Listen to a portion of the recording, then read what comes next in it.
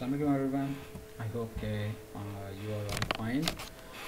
So today's lecture is our lecture number 23 and it will be about the wireless networks, how uh, wireless network works, why we need wireless network, what is their importance and what are their architecture and what is their working mechanism. So uh, we will be discussing about uh, the wireless network uh, layer wise as well. We will discuss their layer wise issues and their functionalities as well. So uh, let's begin our lecture for today. Uh, firstly uh, let's recall let's call ourselves a question that why we need wireless network. Because sometimes there is no possibility for the network provider or the service provider to lay down the cable at a place where cabling is uh, impossible to be done. Uh, in a where uh, cabling can't be done suppose you are living in a hilly area where you can't dig uh, in a hill so or where you are living or the users are residing in an area where uh, in such a terrain that it will be impossible user is living in such a terrain that it is impossible to dig the cables. For example if uh, users are living in a hilly area or a remote area where terrain is very hard then it is impossible to dig the cable or sometime is not feasible because the cost of digging the cable will be so much high. So uh, in that areas uh, cabling is uh, impossible. Not always you can uh, dig the cable uh, in a hilly area. Uh, sometimes in a, rural area as well. For example if you are if you are providing the service to a industrial user or a oil refinery user so the digging of cable there in the industry or oil refinery will be impossible to because if you try to dig the cable it will be uh, impossible because there are so much machinery there there are so much uh, piping is there there is so much uh, oil pipes are there or so uh, you can face a difficulty like that. Or if you are if the users are residing in a very congested populated area if you have visited uh, some of the areas of Karachi or Beijing or Delhi or Mumbai where um, cabling is very impossible to be done um, because of uh, the congestion. Uh, people are living in a very uh, congested area so you can't uh, dig cables or you can't uh, uh, simply go and dig the cable because of the congestion or the lack of space there. So wireless network is a solution in these type of applications. Also uh, the modern modern work conditions requires the flexibility of, of installation. So uh, uh, if you are laying a cabling network or you are providing a cabling network then firstly you need to dig the uh, train and then you basically lay down the cable or you mm, see how uh, cabling can be provided to the user whereas if you are you uh, providing a wireless network just simply uh, put a router or put a access point there and users can uh, uh, join and use the network. So it's a plug and play type of uh, network uh, where you can just simply place a router there and all users can connect themselves. So wireless network provides flexibility of installation and there is no cost for reinstallation or rewiring because if uh, some uh, if a uh, cable network is there so if a wire has been broken or is a if a wire has been malfunctioned then uh, that wire will be reinstalled or rewired. So the cost of rewiring the cable will be high. And in case of wireless network we will we won't be need, needing that type of uh, uh, mechanism. Also the radio networks allows us to communicate with the mobile station as well. So mobility users can be mobile uh, in a wireless network as well. Uh, we will discuss this mobility feature in our next lecture. So uh, that's why we need uh, a wireless network. So also uh, the if our user is mobile so it will allow the user to roam freely between the areas. Um, whereas if you using a cable network then you can't roam freely you can't uh, take the cable with you every time. So uh, with a wireless network user will be uh, staying connected or remain connected wherever he or she wants at any time.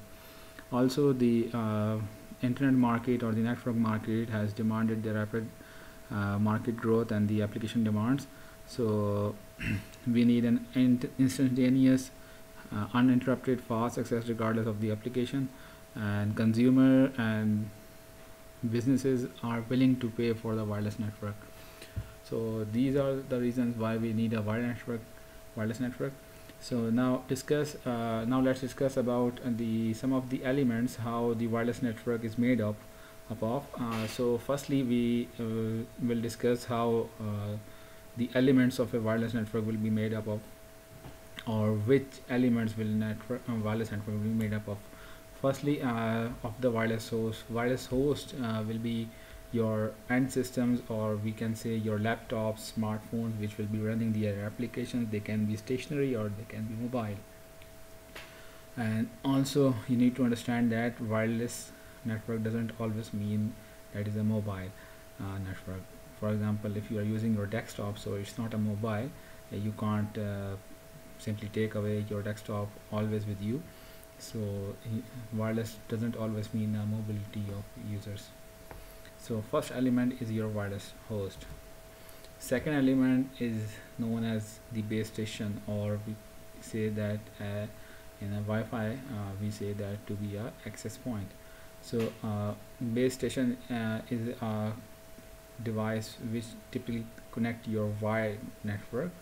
Uh, it is located uh, it's been highlighted in the slide as well and it uh, can be a relay responsible for sending packets between the wired and the wireless host in its area. And the examples can be taken of your wireless X, X points uh, your wireless router your base station and it can be of anything like that. And this base station is connected to uh, the core of the networks using a wired network. Third element is your wireless link. Uh, which will typically typically connect your mobile stations or your end systems to the base station or to the access point. And it's also used as a uh, backbone link for wireless mesh network. We won't be discussing that type of network. And uh, there are various data rates various transmission distance where uh, this type of link changes. Then we have some uh, modes of uh, wireless network. First uh, element first type of mode and that is included as an element of a wireless network is an infrastructure based mode. In infrastructure based mode the nodes are connected to uh, their base stations or you can say their access point uh, into mm, and then these base stations are connected to the uh, backbone network using a wire network. So it will provide you a hierarchy of uh, uh, the infrastructure mode will provide you a hierarchy that your uh, end system will be connected to your base stations and then base station will and these type of connection between access point or base station uh, to the uh, wireless host will be of wireless uh, link and base station will be connected to your backbone network using a wired link. So this will provide you a hierarchy of a uh, network and infrastructure based network I, uh, mobile uh, or mobile user can change the base station providing its connection into the wired network as well. So in infrastructure based mode user can move between the uh, networks as well. Whereas in the second type of mode uh, there is no need of base station. Uh, the nodes or the wireless node can directly communicate with each other this type uh, example of this type network can be taken out of, of a bluetooth network where you can uh, just simply connect your mobile device or your laptop to the smartphone and just simply share uh, the file or the required document or an image uh, using a Bluetooth based network. So you don't need a base station in between. And in ad hoc mode uh, the nodes organize themselves into a network and the routing is done among themselves. So uh, this type of network is, based, uh, used uh, uh, nowadays as well. Before going into the details of wireless network uh, we need to understand some of the taxonomy as well. Uh, in infrastructure based mode uh, there is a taxonomy we call as a single base uh, hop. In single hop in case of infrastructure based mode the host will be connected to the base stations your host or the wireless laptops or your host will be connected to a base station and which will connect to a larger internet or a backbone network. And in multiple hop based network of an infrastructure based mode the host may uh, have to relay through several wireless nodes to connect to a larger internet which is basically a mesh based network. And in uh, ad hoc based mode uh, in single hop we don't need a uh, or in a multiple multiple hop we don't need uh, any base station. Uh, however in case of a single hop your nodes or your destination or your source or then destination is connected directly. Uh, example of this type of network is your bluetooth or your infrared based network whereas in case of multiple hop based ad hoc network uh, your uh, there is no base station involved but your connection is uh, going through a larger number of nodes and which may relay which may basically uh, relay themselves uh, to the other wireless networks nodes as well. Example of this type of network is your wireless sensor network your manet your vanet okay. And uh, now let's move on to uh, we discuss about the characteristics of a uh, wireless link uh, I have selected very few wireless links here and we will discussing uh, generally about their data rates. You can see here that the highest data rate that can be achieved in a wireless network is around 200 megabit per second which is of 802.11n that is your Wi-Fi based network and it can have a distance of around 30 to 100 meters and it's typically used in your indoor applications if you want your uh, applications to be in your outdoor based uh, network then 4G can achieve up to around 54 megabit per second. Uh, and the range of 4G can be of uh, 20 maximum of 20 kilometers. So uh, you can see uh, some of the data here about the wireless links which can be feasible to your selected applications now uh, uh, what will be their characteristics of the wireless link? There is some difference between uh, wireless and a wired link because the in case of wireless link the signal strength will be reducing as uh, more than uh, and fastly as compared to a wired link. And the radio because the radio signals uh, will be attenuated as it propagates through the medium and it will experience a effect called called as a path loss. And path loss path loss is uh, due to the effect of uh, signal traveling through a medium. And second characteristics of a wireless link is that uh, it will be having interference from other sources as well because there is not a single wireless network that will be operating but there will be multiple wireless network will be operating in your residency. So you will be having an interference from other sources as well from other devices as well. And your signal can have uh, multiple uh, routes uh, as well because uh, of the multipath propagation your radio signal will be reflected off the objects uh, of the ground and it will be arriving arriving at the destination at a, set, a, slightly different times as well so um, the communication in a wireless link is much more difficult as compared to a wired link uh, secondly we will be uh, considering uh, parameter called as a signal to noise ratio. I have discussed this type of signal to noise ratio earlier in our lectures that it will affect our uh, it will uh, de determine the performance of our wireless of a network. In case of wireless network, we will be needing a higher uh, SNR, and in order to achieve a higher SNR, we will be trading it off with bit error rate. So if you increase your power, it will increase the SNR but it will reduce the BER so you will be choosing between SNR against the BER how can we classify a wireless network? We can classify a wireless network in terms of four divisions uh, first one if you divide the uh, wireless network in terms of area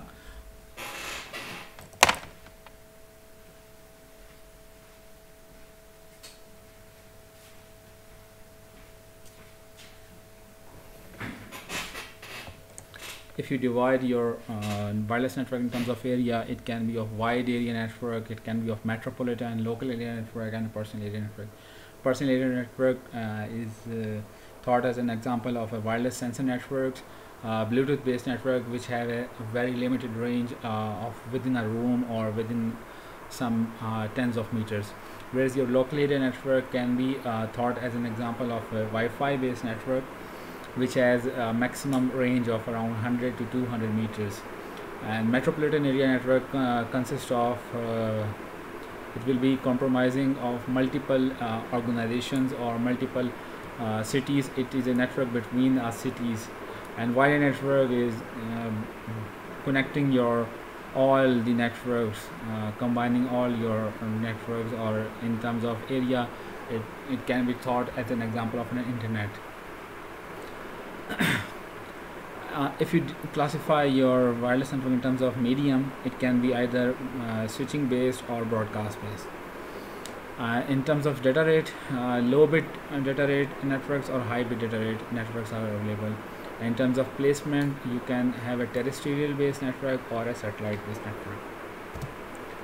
So there are some key concepts of a wireless networking. Fund there are fundamental issues which we'll need to uh, understand first one is your broadband access users always need uh, high speed broadband access in order to uh, attain some uh, in order to better communicate with some other users as well. And also and also needs some of the mobility features as well. And user will be uh, very dissatisfied if he doesn't uh, uh, need if he doesn't get the required quality of service and security. So uh, there are fundamental issues uh, which are highlighted as well. And there are uh, issues related to range and mobility. Range can vary and we can trade it off with uh, the mobility as well. Wireless channel uh, can orderly be used for wireless spectrum in order to reduce the interference. If you properly use your RF spectrum it will reduces the interference. And the shared capacity uh, and if we uh, con uh, this concept will be uh, about the limited bandwidth uh, available because there is uh, it will be sharing uh, in the user. Because wireless network has a very limited bandwidth around some megahertz or in some megabit per second so user will be sharing that limited amount of bandwidth. If we uh, discuss about the layering concept then the functionalities of physical layer in a wireless network is about to control the uh, range of a network how much uh, wireless network can provide uh, the range maximum range if you are using your अगर आपको बहुत बड़ी range चाहिए तो उसकी example हमारे पास 4G के लिए जा सकती है तो उधर आपके पास डेटा रेट कम होगा। और अगर आपको बिटा रेट बेहतर चाहिए तो आपका डेटा रेट ज़्यादा रेंज कम होगी डेटा रेट और बिट रेट बेहतर करने के लिए। तो इधर फ़िज़िकल लेयर के जो इश्यूज़ या फंक्शनलिटीज़ होंगे वो इन तीनों के दरमियान में डील होंगे। अच्छा फिर उसके बाद लिंक लेयर की बात करें तो लिंक लेयर में हमारे पास जो चीज़ें डील की जाएँगी वो फ्रेम साइज़ होगा overhead frame error rate error recovery multiple access how the user will be gay sharing the network और sharing the link and how their access to the link will be controlled and in terms of network layer package size and overhead will be control how the routing will be done and we will we'll be controlling the quality of service the congestion control and the power management as well. And uh, at transport layer end-to-end -end error recovery end-to-end -end flow control and connection level service.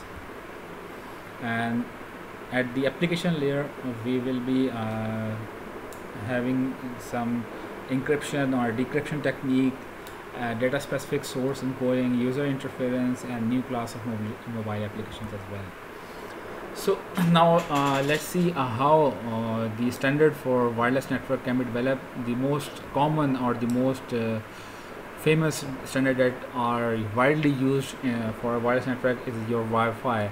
The standard defined to be as uh, by IEEE as IEEE 802.11 standard and it has some variants as well first variant is 11a second is 11b third is 11g and fourth one is 11n and there is a uh, variant of 11e as well which focus on uh, quality of service only. You can uh, look have a look on this slide about some of the features as well. The most latest uh, which has been developed is the 11n which uh, has a data rate of 200 megabit per second around and if we discuss about the architecture of wireless uh, Wi-Fi network uh, then uh, it can support uh, both uh, ad hoc mode and your infrastructure based mode and in infrastructure based mode user will be communicating with the base stations and in uh, Wi-Fi we call base station to be a uh, access point. and uh, the infrastructure mode contains your basic service set uh, which is also called as in cell as well. This is your the blue highlighted area here is called as a BSS basic service set number one. We have discussed this type of concept as to be an autonomous system previously in hierarchical based routing. So bss one bss is uh, typically equivalent to your to your autonomous system as well. If uh, two bss are connected then it is called as an extended services set if uh, we don't connect this bss1 to bss2 then it simply is an isolated or bss based network. Uh, it will be having a basic service set. ये क्यों किया जाता है? ताकि distinguish किया जाए यहाँ पे किसी और तरह की सर्विसेज़ दी जा रही होंगी यहाँ पे किसी और तरह की सर्विस दी जा रही होंगी। तो यूज़र्स की सर्विसेज़ की बेस के ऊपर भी हम लोग डिस्टिंग्विश कर सकते हैं और यूज़र को आसानी होती है डिस्टिंग्विश करने में। कि मुझे यहाँ पे कौन सी सर्विस मिल रही है। अगर आप इन दो बी को कनेक्ट करेंगे तो इस तरह का जो आपके पास इंफ्रास्ट्रक्चर बेस मोड बनेगा, वो E S S extended service set बनता है। अगर चैनल्स एसोसिएशन की बात करें तो 11 बी में 2.4 two point four eight five Geiger spectrum was available and it was was divided into eleven channels at different frequencies the access point chooses the frequency for the stations and for the uh, remaining access point as well and a host which uh, should be associated with an access point.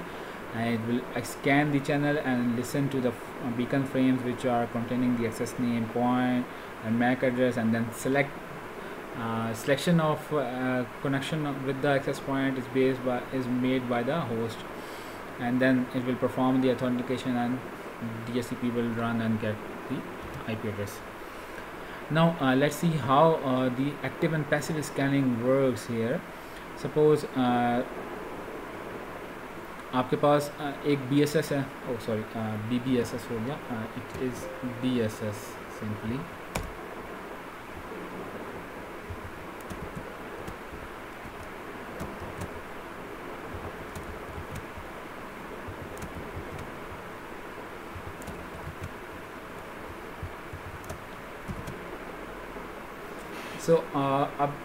दो तरह की scanning हो सकती है user को connect करने के लिए। अगर सपोज़ यूज़र यहाँ पे लोकेटेड है, दोनों बीएसएस के एज पे तो अगर आप पैसिव स्कैनिंग यूज़ कर रहे हैं तो क्या होगा फ़र्स्ट स्टेप के अंदर कि यूज़र को एक्सेस पॉइंट वन का भी पैकेट मिलेगा एक्सेस पॉइंट टू का भी पैकेट मिलेगा। डी कंसेंट होगा, जो कि डिटरमाइन करेगा कि यहाँ पे यूज़र मौजूद है। अच्छा जैसे ही सेकंड स्टेप क्या होगा कि यूज़र डिसाइड कर लेता है कि मैंने एक्सेस पॉइंट वन से नहीं एसोसिएट होना मैं एक्सेस पॉइंट टू से एसोसिएट होना है। तो यहाँ पे पैसिव स्कैनिंग में यूज़र ने डिसाइड किया कि मैं किससे एसोसिएट होना चाहता हूँ। देन थर्ड स्टेप में उसको एक्सेस पॉइंट टू जो है एक्नॉलमेंट भेजेगा। इसके बजाय एक्टिव स्कैनिंग में क्या होता है? एक्टिव स्कैनिंग में होता है ये कि फ़र्स्ट स्टेप के अंदर जो होस्ट होगा, वो ब्रॉडकास्ट करेगा पैकेट दोनों को साथ। कि कोई बेस स्टेशन अवेलेबल है यहाँ पे, अगर, और दोनों रिप्लाई करेंगे कि yes I am available so जो एक्सेस पॉइंट टू टू है उसके साथ बेस स्टेशन एसोसिएट हो जाएगा। यहाँ पे जो है एक्टिव स्कैनिंग के अंदर एसोसिएशन रिक्वेस्ट जाएगी। स्टेप थ्री के अंदर कि मैं आपसे एसोसिएट होना चाहता हूँ। तो वो एसोसिएट हो जाएगा और ये जो स्कैनिंग है, ये एक्टिव स्कैनिंग होगी। यहाँ पे यूज़र ही डिसाइड कर रहा है मगर दोनों के पैकेट्स देखने के बाद। उधर जो है वो दोनों पैकेट भेज रहे हैं उसके पास तो इन दोनों में थोड़ा सा डिफरेंस है। अच्छा चूँकि मल्टीपल यूज़र्स एक्सेस कर रहे होंगे एक ही वायरलेस लिंक को यहाँ पे कोलिजन आ सकती है। कोलिजन क्या होती है? अगर आपके पास two nodes are transmitting at the same time then it mean is a collision so how this can be uh, removed in a wireless network? Uh, it can be uh, avoided in wireless network because CSMA-CD doesn't applies here and we apply CSMA-CA I have discussed why we have discussed why we select CSMA-CA to be in the wireless network in the lectures of multiple access as well. Uh, so CSMA-CA will be implemented using uh, their two implementation types uh, using SIFS and DIFS and second is RTS and CTS. We will be looking how to uh, avoid the collision using the CSMA-CA. Firstly is your SIFS and DIFS based uh, uh CSMA-CA. So that is your link layer uh, protocol. So the Wi-Fi sender will sense for the channel to be free if uh, the channel is free then it will wait for DIFS duration and then send the entire frame. If it sends and the channel is busy then it will start the random back off timer. And as soon as the timer expires then it will uh, recheck for the channel to be uh, free. If uh, the channel is found to be free then the timer of DIFS will be expired and then it will send the packet. And uh, in case uh, if uh, there is no acknowledgement received it will increase the random back off timer and will repeat the step number two. And for receiver if the receive frame is okay then it will return the acknowledgement not immediately after waiting for SIFS duration. That is short interframe space and this is distributed uh, coordination function interframe space. So how uh, does this type of events work? Let's see an example uh, so sender will send the data uh, after the channel is free and uh, will wait for DIFS duration and then the data will be transmitted. And if receiver found the channel to be free uh, it will wait for the SIFS duration and will send the acknowledgement in order to avoid the collision. How uh, uh, we will avoid the collision if we will allow the user to reverse the channel rather than random access of data frames. So in order to avoid the collision for longer data frames sender will send the transmit uh, this type of implementation is used uh, uh, using the RTS and CTS mechanism. And in this case sender will first transmit the request to send packet to the uh, base station and the uh, RTS packets uh, which means I want to I want to request that I I am want to transmit the data here now. So the access point will reply uh, yes you can if there is no data. So the access point will broadcast that CTS is available uh, to A or B then uh, the CTS which has been heard by all nodes and uh, uh, they will not transmit uh, the frames because the particular nodes is being transmitted and the other station will defer the transmission. How does this work? Let's uh, through uh, see it through an example. In this example uh, both a and b can transmit. Let's see how they will transmit and how the collision will be avoided. And suppose both have uh, send the RTS at the same time. So that means access point will detect the collision and it will uh, just wait uh, because uh, of the random timer. Suppose the random timer is expired for RTS A for A then A will send the RTS packet that I want to send the packet now. So the access point will reply for uh, both A and B that clear to send has been sent to the A. So B will uh, back off its transmission and the A will transmit the data and B will uh, wait until the acknowledgement has been received and and in this whole period B will be waiting for the data to be transmitted. So that's how we can avoid collision in a Wi-Fi based network. Now assume your node to be a mobile now so it will be moving from one base uh, uh, basic service set to another basic service set.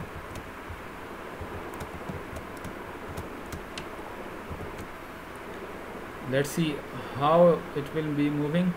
So the host 1 will be moving from base station 1 to base station 2 so in this case uh, the IP address will be changed because it is moving from one subnet to another sub another subnet so how does uh, the handoff or the switching from one base station to another base station will be accommodated so firstly uh, ए जो है वो अपना same IP address रखना चाहता है तो उस केस के अंदर क्या होगा कि हमें अब बताना पड़ेगा इस एक्सेस पॉइंट को क्योंकि पहले इसके पास एसोसिएट था। तो एक्सेस पॉइंट वन को बताना पड़ेगा कि भाई आ, इसका आईपी एड्रेस ये था तो इसका आईपी एड्रेस चेंज ना किया जाए तो किस तरह बताया जाएगा? तो जो एक्सेस पॉइंट वन है जिसके साथ एच वन एसोसिएटेड था वो बताएगा using self learning capability of of a switch and it will remember that h1 was allocated that particular IP address to the uh, next access point and it will be uh, accepting that h1 through this IP address. So that's how the handoff is done that the IP address is being moved from uh, base station basic service number set number 1 to basic service set number 2 next uh, we can have uh, advanced capabilities in Wi-Fi uh, capabilities in sense of uh, the rate adoption. Rate adoption क्या होती है कि आपके पास जितना आप base station या router के करीब होते हैं उतना आपको अच्छा डेटा रेट मिलता है। जितना आप दूर होते जाते हैं तो आपके पास डेटा रेट कम होता जाता है। तो बेस स्टेशन डायनामिकली तौर पे अपने डेटा रेट को ट्रांसमिशन रेट को कम या ज़्यादा कर सकता है। जैसे जैसे मोबाइल स्टेशन आगे या पीछे मूव होता है उसकी तरफ़ या उसके से दूर मूव होता है।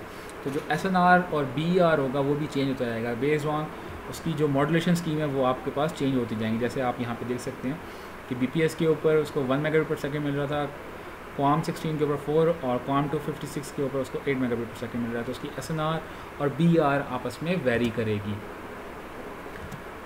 So this type of capability is called rate adoption capability that your rate is been adopted if you are moving away और towards the access point Second type of capability is a power management capability uh, in a Wi-Fi based network. And in this uh, the node to access point uh, basically uh, access point and node communication uh, is not uh, always ready. So in this if in case the node is not communicating with the access point then it means it has to be in a sleep mode in order to conserve the energy or the power so uh, node will send mm, a beacon message or a sleep message to the access point that I am going to be sleep until next beacon frame. So I am not listening to you. So until you say something to me I will be listening. So uh, access point now knows that uh, he uh, the access point will not be uh, uh, transmitting any packet to that particular node because uh, that particular node has gone into the sleep mode. So that node can wake up uh, as soon as the access point wants to be him to be wake up using a beacon frame. So beacon frame consists of a list of mobiles with the access point to mobile frames uh, which are to be sent. The node uh, will stay awake if the uh, access point to mobile frames are to be sent. Otherwise it will go into the sleep mode again and wait for the next beacon frame. It will help in order it will help in order to increase the power uh, or the energy efficiency of the network as well. So that's all for today. It was uh, about the wireless network and we have discussed in this lecture the Wi-Fi as well the concepts of Wi-Fi as well. So inshallah we will be having these type of lectures in upcoming uh, days as well. So Allah Hafiz for now